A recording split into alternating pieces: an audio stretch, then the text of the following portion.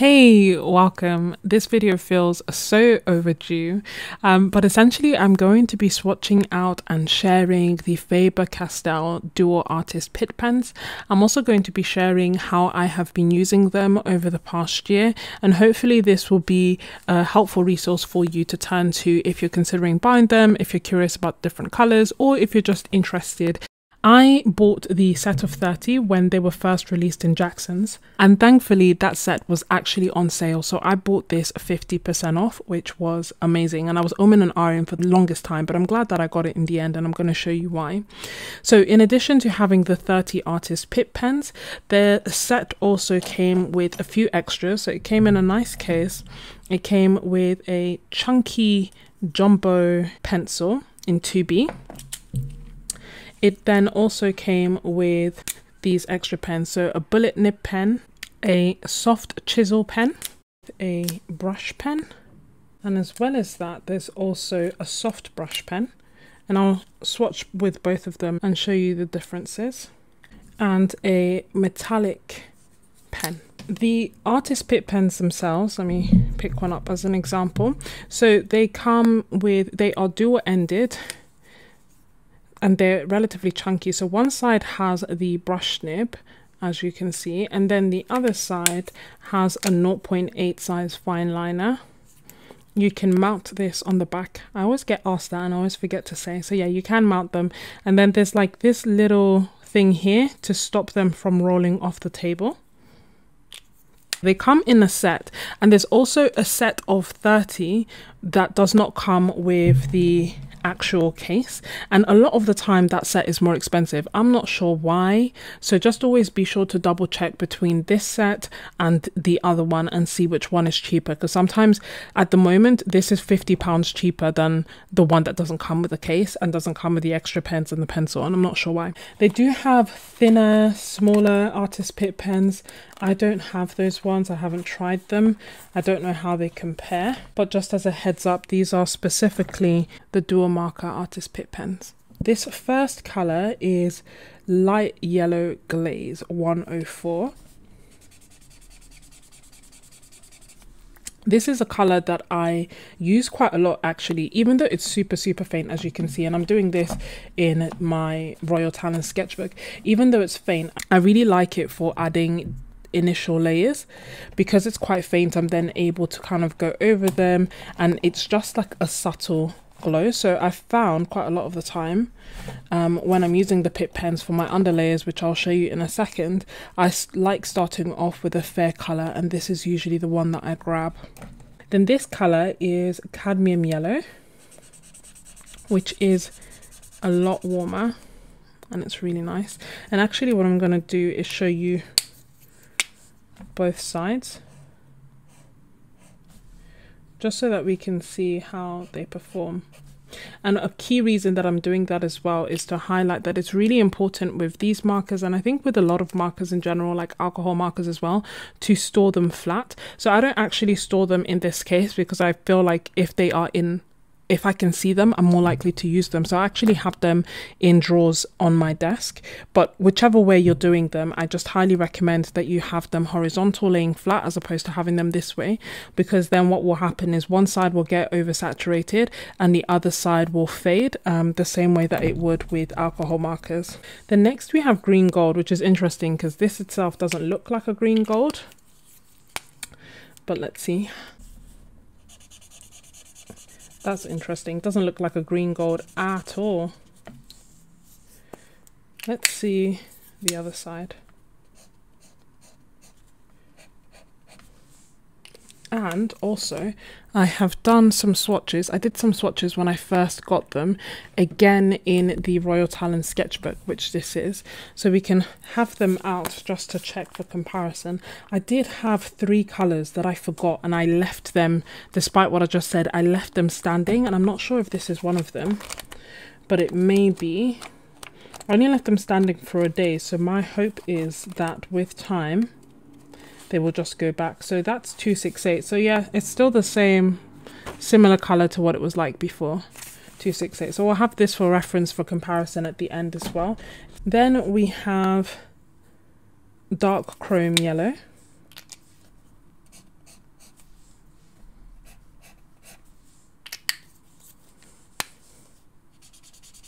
Nice bright orange even irrespective of what it's called. And following that, we have orange glaze 113, which is even brighter. These pens have India ink inside them, which means that once they dry, they do not or should not reactivate. One of the things that I have found as an absolute happy accident is that when you first lay them down, you do actually have some working time. So you do have like maybe 30 seconds where you can add water, reactivate them, and almost completely dissolve them, almost as if they were watercolor markers. And then once they dry, they dry and they stay put, which has been so great and so fun. And I'm going to show you how I have been using that property. This is beige red 132. Yeah, it's interesting because I was really in two minds as to whether I should get this set, especially because they are not cheap. And I kind of felt like, are they just felt tips? Am I, am I being ripped off? And am I going to end up spending lots and lots of money buying felt tips? But I don't know. I've just really enjoyed using them um, and they are said to be light fast. I haven't tried them myself and I've only used them in a sketchbook thus far.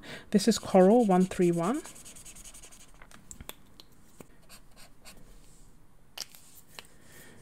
And then we have Middle Purple Pink, which is a super bright pink colour.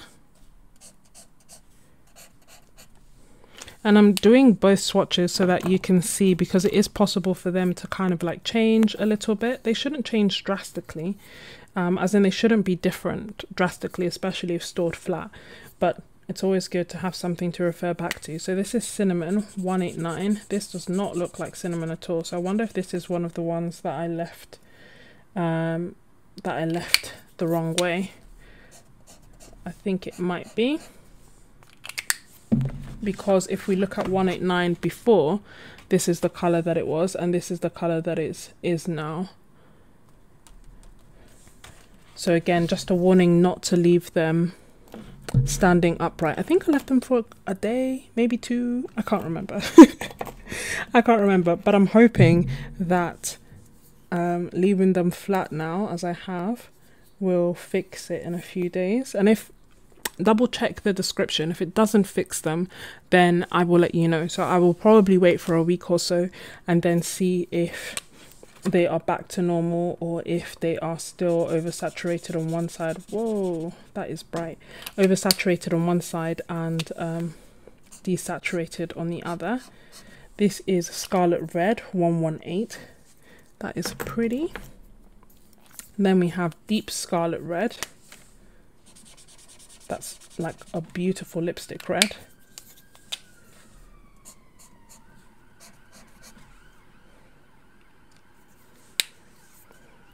But it's interesting, the fine liner one is a little bit pinker. Like you can see a little bit more pink, I guess because it's not as saturated. Then in, we have Sanguine, which is 188. Purple violet. I think one of the things that I really enjoy, appreciate, and love about these as well is unlike acrylic markers, which are completely different, granted, there's none of that, you know, pumping, reactivating action, and for that I am very grateful. Because uh, that is the one thing that I really hate about acrylic markers. This is Phthalo Blue. That's really pretty. Very, very pretty blue. And then ultramarine which is interesting because this itself doesn't look like an ultramarine color. It looks almost like a, a periwinkle like a, a light blue. But the actual marker itself looks like a slightly lighter ultramarine blue. But it's closer to ultramarine than blue than the barrel. And that's the other um, thing it's always helpful to swatch because as you can have probably gathered the the body of the markers are just like a rough indication of the color but they are not like super great so i think it's always helpful to have swatches so that you can actually see what the color on the inside is like then next we have sky blue and cobalt turquoise light. That's a really pretty colour. I'm curious to compare them to the very, very first swatches that I did. This is Phthalo Green, again, prime example of like name doesn't match the color on the tube, which I mean doesn't match the color on the pen, and we'll see if it matches. Yeah, so this looks like a phthalo green, and as you can see, that has absolutely nothing to do with with the actual color of the pen on the outside. Then we have ice blue, 148. That is nice. Again, a color that I like using for doing like initial light details, but it's quite cool as expected. So, you know, if I'm doing a winter scene, then maybe I would draw this. Or if I, um, I don't know, if I'm doing something that has that icy kind of feel to it, then I would probably pick that up. If not, I would go for the light yellow that I showed you at the beginning. Then this is dark phthalo green, 264. Looks very similar to phthalo green itself, but we shall see how it dries.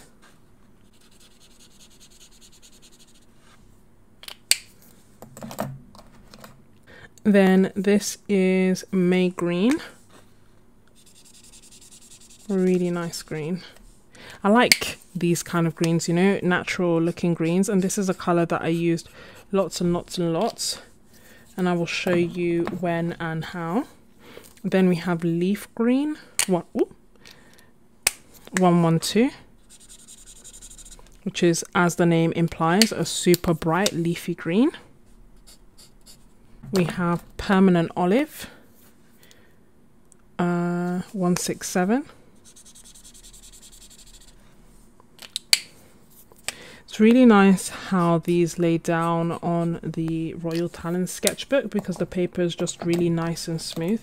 So even like hot press paper, I think would work very nicely for this or any sketchbook paper. I do think if you do lots and lots and lots of layers, it can eat away at the paper, not as much as acrylic pens, but still um, be careful with that. So this is Chromium Green Opaque. That is a really nice natural green like a moody olive green. And then we go on to the browns, which I admittedly I haven't used as much, but it's still nice to have them. So this is raw umber 180. This is dark sepia. Whoa, look at that. That's really nice. Very rich brown and then we have Indian Red 192 then we have two greys the first one being warm grey 3 272 I think these would be nice for like tonal studies like you know just taking one pen out this is cool grey 232 I wish it was the slightest bit lighter like I do tend to prefer cool greys to warm greys. But I wish that it was a bit lighter so that it could be used for like subtle um, tonal studies. And then we have black. Look at that. Oh, it's so smooth. And then want to swatch out some of these that we had on the side. So first one is black 199 and it is the brush pen.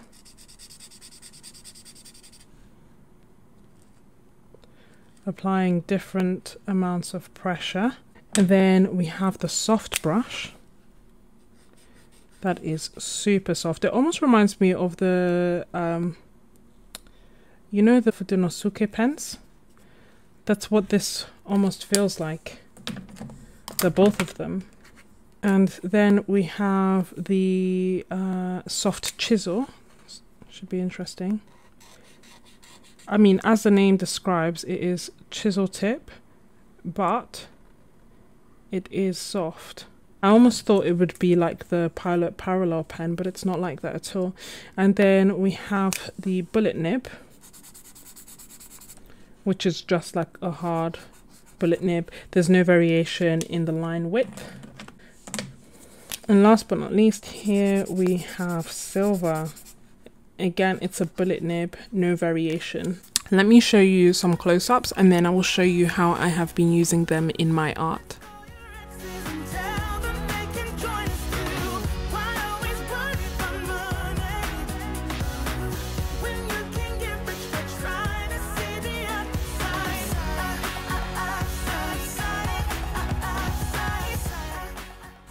Okay, so I'm back again and I just wanted to show you side by side the swatches that I've done now today, a year after buying the Artist Pitt pens, and the swatches that I did when I first bought them, just so that you can see if there are any clear, significant differences. I think the main one for me is this cinnamon. And as I say, there were three colors that I had that I forgot and left upright. The other two, I can't really remember which they were, and I can't see like a massive difference between the swatches. But with the cinnamon, I think that it's quite clear. So this is cinnamon here, 189, and this is cinnamon here, 189. So these two these two were once the same color and as you can see it's a lot darker now so that is probably the one that I'm going to test out to double check that it is okay. Does it come back to the light color that it used to be, or is that permanent? But that's something to watch out for and double check the description for, and I'll keep you um, updated and posted on that. But with regards to the rest of the colors, just so that you can see them by side by side, I can't really see a significant difference between them. Then we go to the greens, and what I found funny is that I did a double swatch both times. So I guess both times I was confused about the fact that it's not actually that dark. Maybe the a color that is ever so slightly different actually now that I look at it is the phthalo green. So it looks more phthalo green now. However, when I first watched it, it was lighter. Where is green gold? 268. Ah, 268 green gold. So again, maybe slightly darker than it used to be, but not massively. Again, I need to, I'll put a dot. It might be that these were the three. I in hindsight, I don't think that the phthalo green was actually one of the three. I think it was this, this, and a different color. 146 is maybe, maybe ever so slightly darker. So this is 146 when I first watched it. This is 146 now.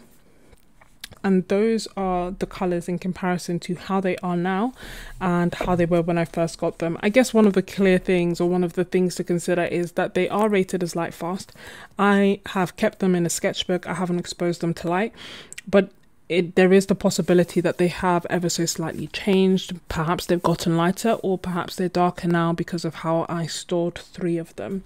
Um, but as you can see, for the majority, the vast majority, they have remained unchanged. And as you can see here as well, this is what they swatch like, um, both the brush and the fine liners. So that's the swatches and the colors just in case you're interested in buying them. They are available open stock and I'll leave a link down below in the description.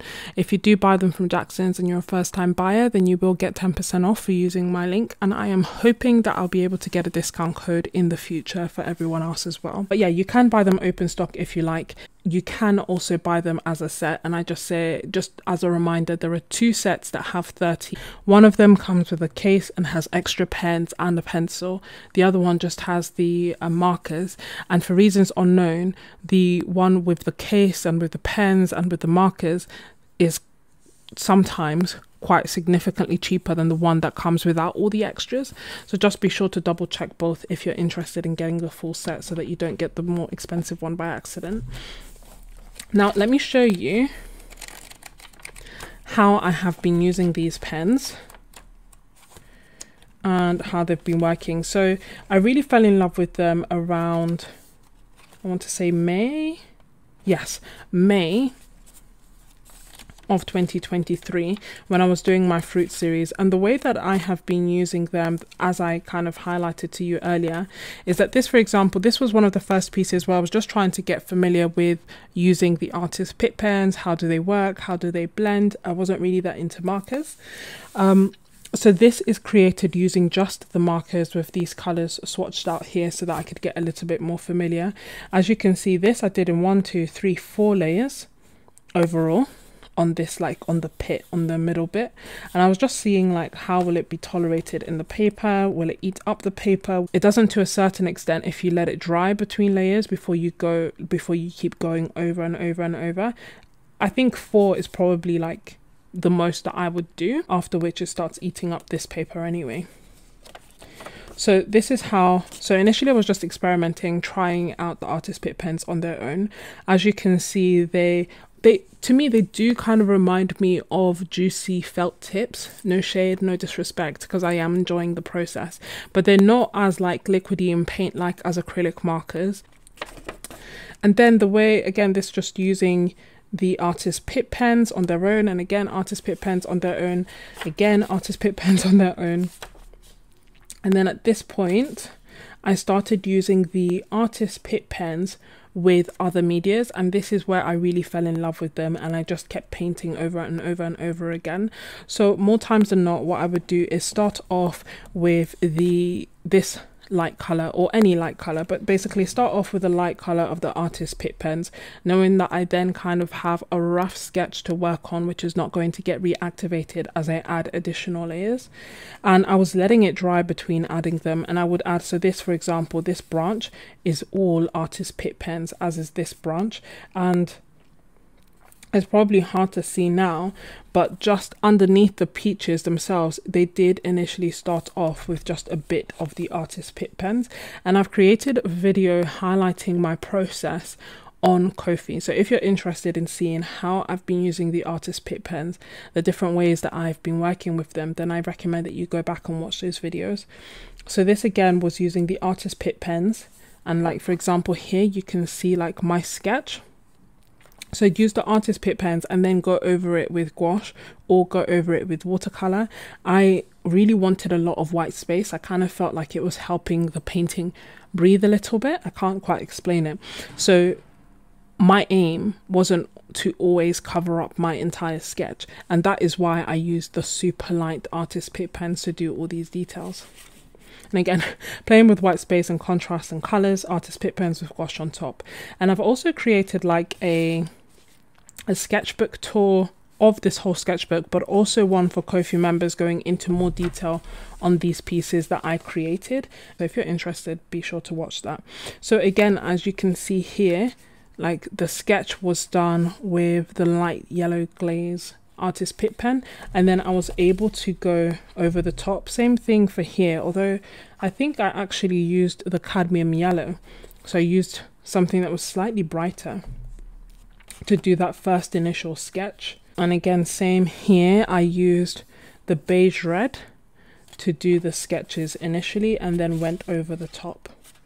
Again here I used the beige red to do that sketch and then went on top. So I would use the artist Pitt pens to do the sketch, then I would use them to add bright pops of colour and then I would go over the top with gouache. So sometimes you would be able to see the extra bright pops, pops of color and sometimes you wouldn't, but still actually this is the piece that I did real time, but sometimes you wouldn't. So this, for example, again, I used the beige red artist Pitt pen to do that sketch and then I also used bits of yellow to add extra bits of color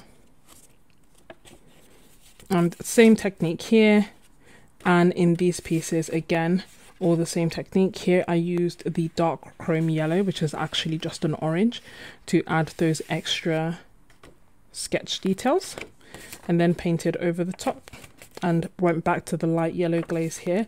I don't know I just really really enjoyed the process and I kept I created so much during that period of time because it was just so much fun to use them and it's funny because I didn't anticipate that I would love them as much as I did. And I've created a full length sketchbook tour talking about all the art in this sketchbook which I'll leave linked for you. But this is essentially how I would sometimes start off the sketch minus the pencil. So I would go do the outline and then add extra bits of color. And this for me would be ready to add watercolor or gouache on top of same process for these. I just think this is so cute. But yeah, same process for this. And on this, I also added Neocolor 2s on top. So I was really having a field day with mixed media. And it started off with the Artist Pitt pens. As you could probably tell, it started off with swatching them. And then all of a sudden, creating all these pieces. So I really, really enjoyed them. And this carried on to this year. And this sketchbook tour will come soon if it isn't up already. So similar technique but different. So here again i was using the artist Pitt pens but instead what i started doing is using the artist Pitt pens and watercolor. And it was through the pressure of timed studies that i discovered and i learnt that you can actually really reactivate the artist Pitt pens and almost get rid of the marks that they put down almost entirely and then you can let them dry and then you can go over them paint and they won't reactivate. So almost like everything that i had wanted from the Inktense blocks that i never got i got from the artist Pitt pens by accident. So this for example would have been beige red here and i just made scribbles down reactivated all of it and then was able to watercolor over the top without it reactivating. If I had just laid it down and let it dry without adding any water, then that wouldn't have reactivated. And this is a technique that I then replicated through the rest of this book and I'll share I'll share the full sketchbook tour coming soon but it was a really fun happy accident that taught me a lot about the artist Pitt pens so just to demonstrate that and highlight that if I add water now, as you can see, they've had plenty of time to dry, so they are not they are not reactivating. However, let me show you what happens when you add water straight away. So if I put this down, for example, and then immediately move it away and add water, then I am able to reactivate all of that and then I can let it dry. If I do the same here, for example, add some yellow there and then also some of this and reactivate that and add that, then again, I can reactivate the two.